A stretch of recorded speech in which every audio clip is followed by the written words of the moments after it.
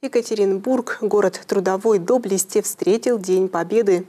В канун праздника в Свято-Троицком кафедральном соборе состоялась традиционная архиерейская литургия с участием военнослужащих.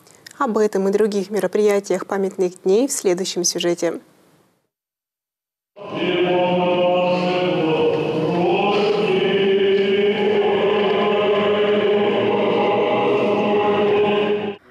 Архиерейская божественная литургия, посвященная Дню Победы, которая ежегодно совершается 8 мая, значимое событие для Екатеринбургской епархии и Центрального военного округа. За богослужением традиционно молятся, исповедуются и причащаются военнослужащие, которые принимают участие в праздничном параде на площади 1905 года в Екатеринбурге.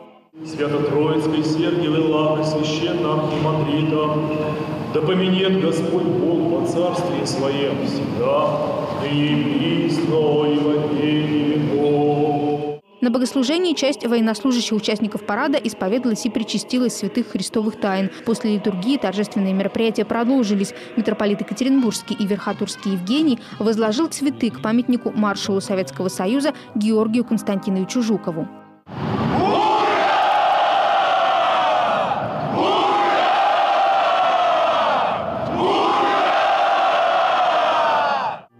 4 Герой Советского Союза Георгий Константинович Жуков являлся командующим войсками Уральского военного округа на протяжении пяти лет с 1948 по 1953 год. Его называют маршалом Победы за неоценимые заслуги командующего фронтами в Великую Отечественную войну.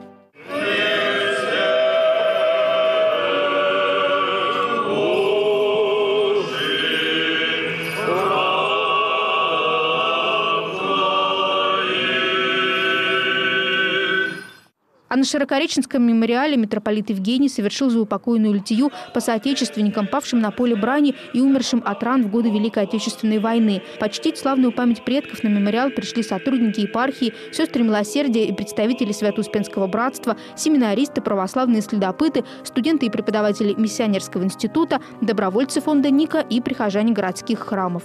Четыре года наш народ очень болел, трудился, проливал кровь, пот, прорываясь, вырывая буквально у смерти победу над тем злом, которое пришло 22 июня 1941 года. И невероятным подвигом отдельных людей и всего народа эта победа была одержана. Свой современный облик этот комплекс обрел к 70-летию победы в Великой Отечественной войне. Здесь на бронзовых рельефах отражены основные вехи Великой войны. Битва за Москву, блокада Ленинграда, Сталинградская битва, битва на Курской дуге, освобождение Европы от нацизма венчает этот ряд барельеф победителей.